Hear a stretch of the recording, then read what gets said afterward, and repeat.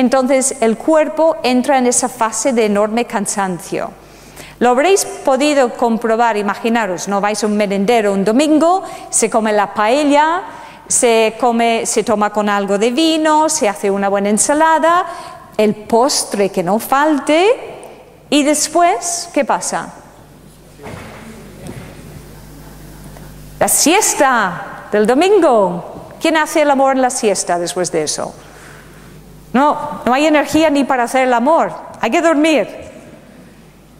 ¿Por qué nos pide descansar? Porque pide que tu cuerpo se relaje para que pueda hacer la digestión. En cambio, si hacemos una digestión correcta, no nos roba energía de otros órganos ni de otros sistemas. Es mucho más fácil. ¿Cuál es el error, el mayor error en la alimentación, por muy sana que sea, que, impide, que impida que hagas una digestión correcta? No voy a preguntar cuántas personas aquí, después de comer un plato de espaguetis o una pizza, sentís hinchazón del vientre acompañado después de un pedorreo, silencioso o ruidoso, o eruptos ¿Lo pregunto o no lo pregunto? ¿Por qué pasa eso? Por las malas combinaciones. Ok, vamos a hacer una comida sana en un restaurante italiano. Un buen plato de ensalada, crudités, con un chorro de aceite, pero no vamos a poner ni vinagre ni limón. ¿Por qué? Porque una sola gota de ácido en la boca anula la producción de una enzima que se llama tialina. Empieza por P, tialina. La tialina es necesaria para hacer la completa digestión de los carbohidratos en la boca. Si no se hace esa completa digestión, tiene que pasar por un baño del ácido clorhídrico en el estómago, luego llegar al duodeno, donde luego el páncreas tiene que echar las enzimas pancreáticas y a través de la amilasa intentar terminar la digestión de los carbohidratos que necesitan un ambiente alcalino y como no lo puede completar, vierte el resto de los, alimentos no correctamente digeridos en el intestino largo, el, delgado, y se producen unas bacterias, unas endotoxinas que tienen que fermentar el carbohidrato para terminar de digerirlo de una forma no natural. ¿Y qué pasa cuando hay una fermentación que se produce? Gas, ¿ok? El CO2. Entonces ese gas se tiene que liberar. ¿Cómo nos ahorramos ese pedorreo, esos gases, esa hinchazón, ese déjame que afloje el cinturón? Es no echando vinagre, ni limón, ni ácido en la ensalada si vas a comer un plato de pasta. ¿Ok? Entonces, comes tu ensalada, comes tu plato de pasta o tu pizza de vez en cuando y de postre totalmente prohibido cualquier cosa dulce porque vamos a causar una fermentación. O sea, todo lo que hayas comido antes, si mezclamos con azúcar o frutas o dulces, vamos a luego causar una fermentación antinatural y el acompañamiento de gases e hinchazón de nuevo. Pero hay una serie de frutas, debido a la presencia de enzimas eh, digestivas o em, la pectina, son frutas que son compatibles para comer detrás de, los alimentos. Ok, si vas a comer un plato de carbohidratos, arroz, pasta, pan, em, detrás podemos comer las frutas, las pes, en Cataluña, ok. Pera, papaya y poma, que es manzana pera, papaya y poma. Plátano ni hablar, vamos.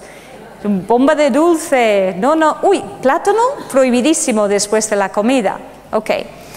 Y en una comida proteica vamos a un merendero y vamos a comer una buena ensalada Podemos acompañar con unas alcachofas a la brasa o podemos poner una escalivada, ¿vale? Y vamos a comer eh, un chuletón o pescado o unas eh, chuletitas de cordero lechal, según el paladar, ¿ok? Es solo un ejemplo de una comida altamente proteica y difícil de digerir. Postre ideal. Con esa, con esa proteína no vamos a mezclar carbohidratos, porque la proteína necesita un ambiente muy ácido y los carbohidratos un ambiente alcalino. Podéis hacer la prueba de estar un mes haciéndolo correctamente y un día te das permiso hacer las mezclas bomba y luego veréis que, que cambio en el organismo. Detrás de ese plato proteico, el postre perfecto es piña fresca, natural, tiene la bromelaína, papaya, la papaína, son dos eh, proteolíticos potentes, la pera o la poma, la manzana. Tenemos las cuatro frutas P para comer detrás de las proteínas. Cuando es más saludable hacer aunque los alimentos no sean tan sanos, es eh, más, favorable hacer una comida con una buena digestión y una buena evacuación que no buscar de hacer una dieta ecológica, super tiquismiquis y mal combinado. Porque eh, un grupo de alimentos mal combinados van a crear fermentación y putrefacción intestinal. Yo tengo algunos pacientes que dicen, eh, no, yo como todo súper ecológico y, y me lo miro mucho.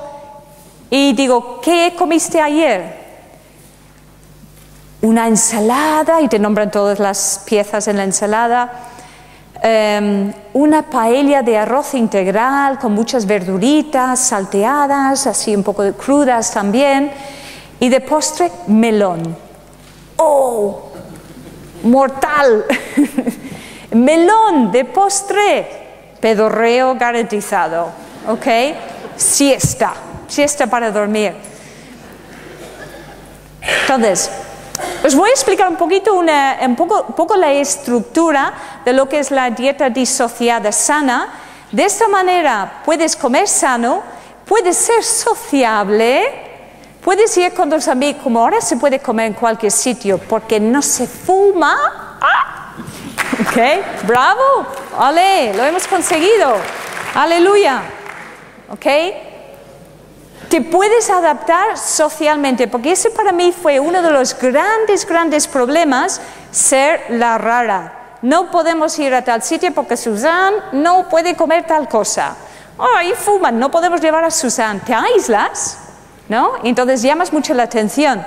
Entonces podemos intentar ser normales aunque no lo seamos.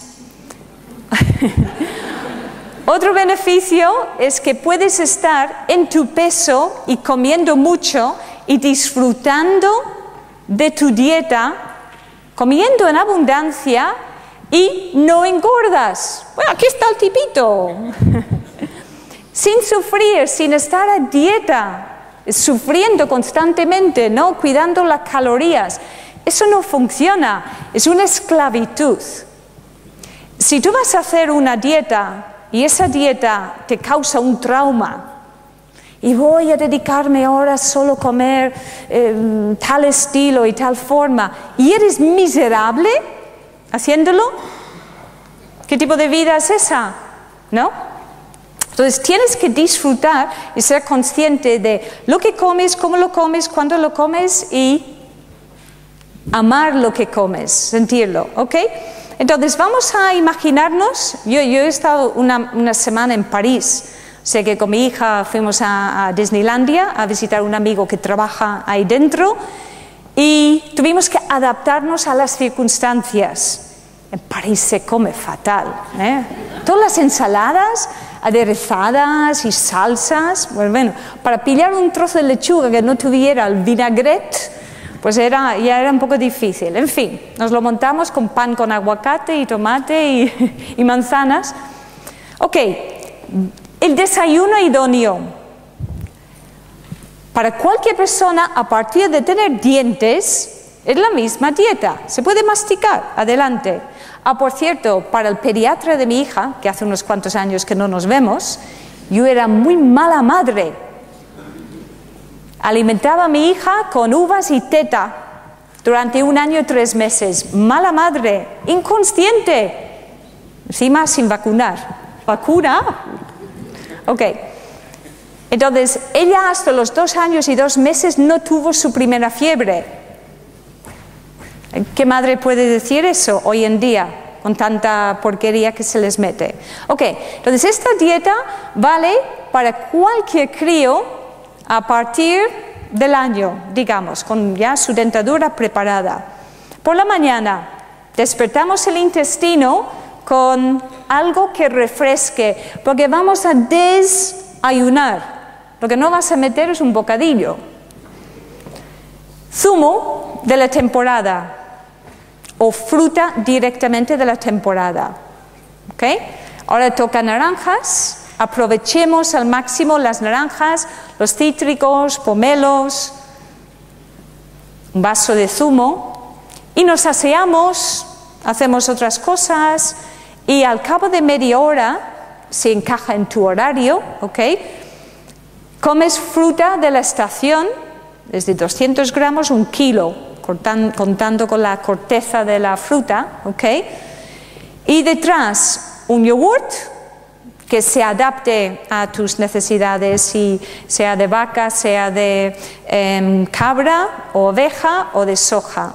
Un yogurt con algo de cereales integrales, por ejemplo, copos de avena finos, eh, dos cucharadas soperas máximo más de dos cucharadas soperas acidifica el organismo. ¿Ok? Que dice, Ay, me siento muy mal la avena por la mañana. ¿Cuánto pones? Medio paquete, hombre. Claro. ¿Ok? Te reseca, necesita ese... Eh, solo echando agua caliente encima para cubrir y dos dedos por encima del nivel de los copos. Y os aconsejo, para no cargar el organismo con tanto azúcar y, miel, aunque sea sana la miel, podéis poner el polvo de stevia. Natural, el polvo de stevia endulza es lo que, es lo que hago yo. ¿Ok?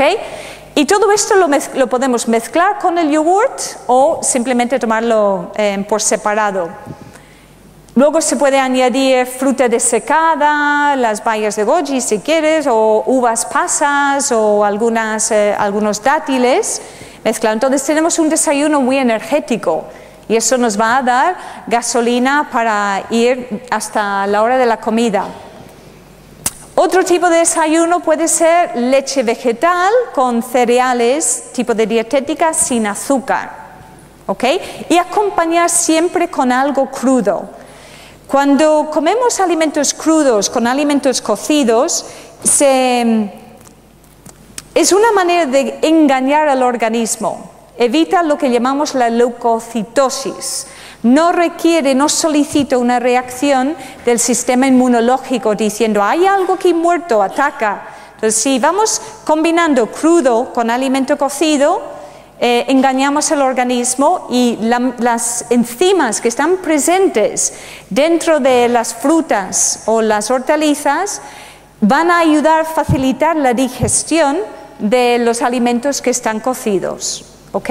Entonces, si quieres perder peso, comes dos bocados de ensalada, uno de plato cocido. O sea, doble de proporción de crudo que de alimento cocido. Cuando has ganado el peso que quieres em, tener, ya, ya, te encuentras con salud y, en forma, es la misma cantidad de crudo que de alimento cocido. ¿Okay? Pero cuando te acostumbras a acompañar el alimento cocido con alimento crudo, es cuando empiezas a notar el confort digestivo. Todo funciona bien, digieres, evacúas y aumenta el nivel de la vitalidad.